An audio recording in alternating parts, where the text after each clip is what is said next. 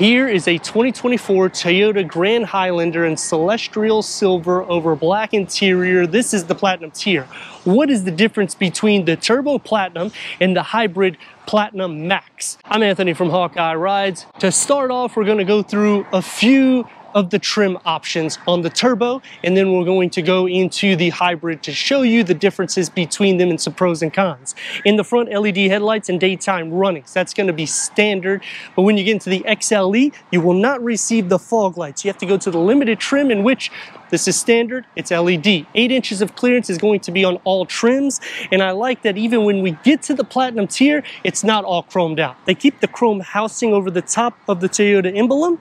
When you get into the hybrid, you're gonna get the blue badging, the grille will get the gloss black elements, and a touch of the matte black that's going to surround the lower. All trims receive the same suspension, whether you go turbo or hybrid. So you're gonna get the MacPherson front strut suspension, multi-link rear suspension. When you get to the Platinum tier, you're going to get these chrome multi-spoke alloy wheels. The Limited will not get the chrome and the XLE will have a 18 inch kind of looks like a rental car, which I think with this celestial silver, it looks all right because it's not, again, too much chrome. The major difference is what's housed underneath the hood. 2.4 liter, four cylinder turbocharged, producing 262 horsepower and 310 pound feet of torque paired to an eight speed automatic transmission. You're going to lose 97 horsepower when you option the turbo opposed to the hybrid. 90 pound feet of torque less than the hybrid. MPGs, 20 to the city, 26 for the highway. When you get into the hybrid, 26 MPGs for the city, 27 MPGs for the highway. It's not a huge difference there. And because it's so much difference in power, I would have liked to see an increase of towing. Towing is the same on all trims, 5,000 pounds. The matte black is going to surround the fenders and the side skirts. The side window trim gets a touch of the chrome, and again, not putting chrome everywhere, which is more traditional when you get to the platinum tiers for Toyota. The rear is going to be a little bit different depending on the tiers. When you get into the XLE, it's standard LED lights. You will not get the light bar. That goes on the limited, and on the platinum, it'll give you the digital rear view mirror, which is right underneath it. The lower is going to get the matte black. Because this is a turbo, I would have liked to see some exhaust. I know, Toyota doesn't offer the V6 anymore. It's the turbocharged or the hybrid variant. Just because it's a little bit, it sounds more sporty when you're in a turbocharge, even though the Hybrid Max will be faster on your 0 to 60s. Power lift gate going into 20.6 cubic feet of storage. This has height adjustment, JBL sound system. Underneath, you get a little bit of storage and an area to put the privacy cover. Grand Highlander kick plates, split fold. The third row at a 60-40 split It's going to increase the cargo to almost 58 cubic feet. Fold down those captain seats, increasing cargo to 97.5 cubic feet. This is the turbocharged. We need to go inside, start it up so you can hear that exhaust note.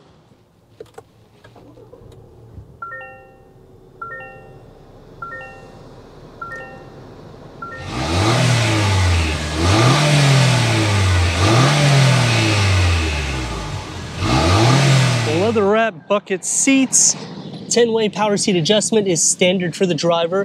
8-way power seat adjustment for the passenger. Heated and ventilated can be an option for the limited trim, which it's standard here. Memory for the driver. Headroom and legroom.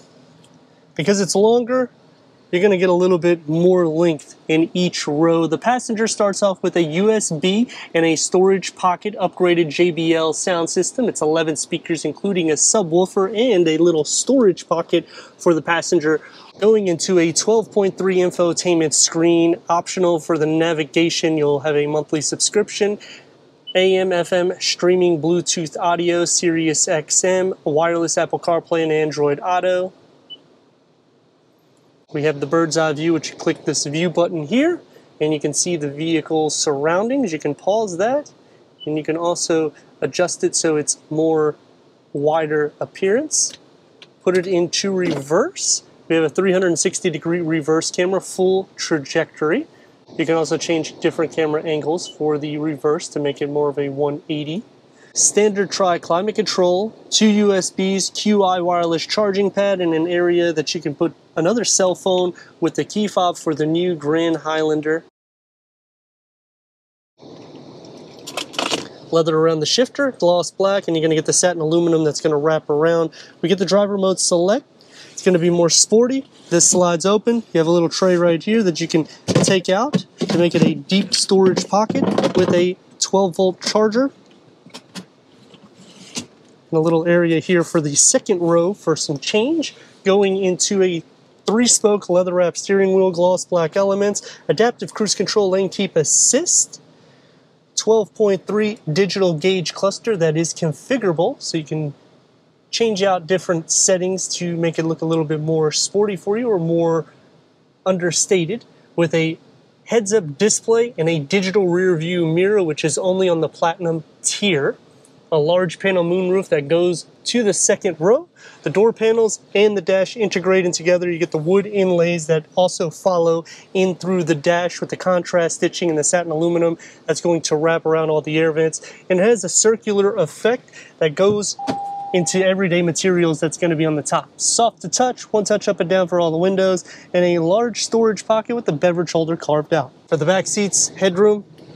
For the second row, headroom and leg room. Because these are captain seats, they can adjust forward, which would make absolutely no reason for me to sit in the second row. You can slide this back.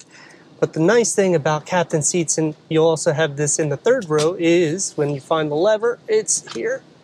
You can recline these and you can adjust this to make it a little bit more easy and user friendly. Cup holders in the center areas for iPads or Androids with another storage tier in the back this is removable, so you could use this just as a pass-through, and it's pretty quick access, very lightweight.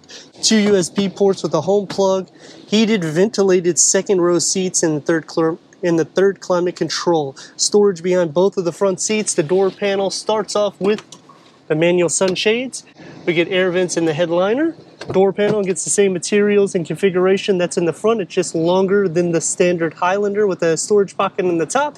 You can kind of use this as storage pocket with a long storage pocket and a beverage holder carved out. To enter to the third row, pull the lever and slide forward because we're over six inches more in length. It makes this back seat one of the best in class for leg space as you're going to see. Putting the seat back, it's going to be a little bit tight still for somebody that's over six foot and this is adjusted and all the way back. Feet space is going to be shared by the rails, three cup holders on each side with the USB air vents in the headliner. And for headroom, it's not bad. I have the seats reclined. Let's see how I look. With them reclined, headroom is a lot better. Leg space in the center is actually the best because you can stretch out your legs but it's going to be tight for butt and shoulder space because of the way the cup holders bulge out. 262 horsepower, 310 pound-feet of torque, sport mode.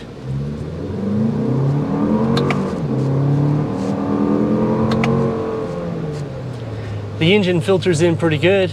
I always like the exhaust note to filter in. It has a little bit of a drone note to it, but it's not over the top, so I like that. Is 97 horsepower a huge difference? For your 0 to 60, yes. For your MPGs, not so much. You're getting six more for the city and one more for the highway. 90 pound-feet of torque is going to push you back a little bit more so, but the same towing capacity, same suspension setup, so would I do the savings? I probably would. That's gonna take me to some pros and cons, starting with the pros. When you're optioning the Grand Highlander, they make it very user-friendly. You go up the tier and you get the features, similar to pretty much every automotive industry nowadays. The good thing here is they do the same thing for the hybrid, so you don't have to go full hybrid in order to get the same features or same towing capacity.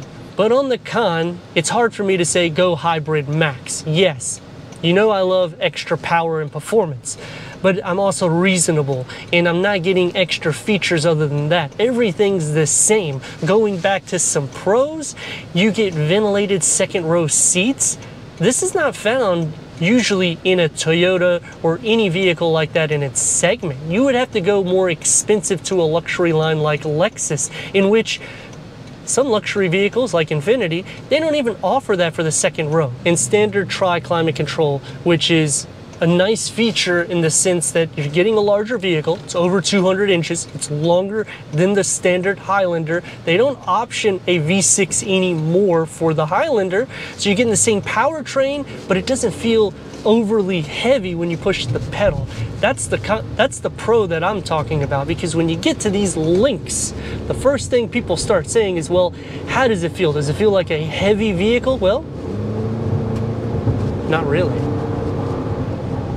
Motivation is good. You will be hitting about two and a half to three RPMs to get the vehicle motivated in which most vehicles with these type of powertrains, whether it's turbocharged or even V6, you're going to be doing this. So I don't find a negative in that. And it also helps with the carbon deposit buildup because you do want to hit a little bit higher RPM.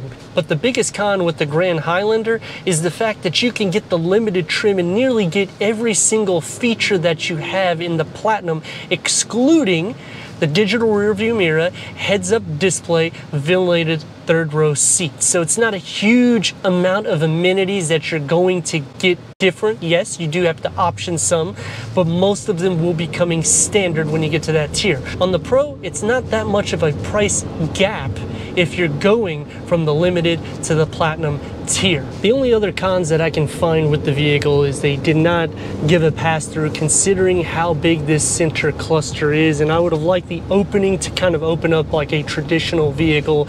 I understand what they're doing. They're keeping the same segment as the Highlander and just making it a little bit better and more grand. For the Grand Highlander, it just feels like it'd be a little bit more optimal for storage capacity. I like the width. It does feel wider, does feel a little bit longer, but it still has the same motivation and capabilities as a Highlander, just like I was saying, a little bit more grand. Comparable rivals like Mazda, Hyundai, and Honda, or even Subaru, this is going to have the most leg space in class, but it's also a longer vehicle. The same thing with cargo capacity. It's going to have the same towing capacity, and in some cases, it might have more so depending on the tier that you option. So, overall, I think Toyota did a a huge step forward coming out with the Grand Highlander, giving a lot more luxury in class and simplifying the trim, not giving you 5,000 different options, just making it a three tier. But let me know your thoughts in the comments. And if you're new to the channel, consider subscribing. Check out the next video, merchandise, website, and Instagram. Leave a comment and a like. And I'd like to thank Stadium Toyota for giving us this 2024 Toyota Grand Highlander Platinum for our car review.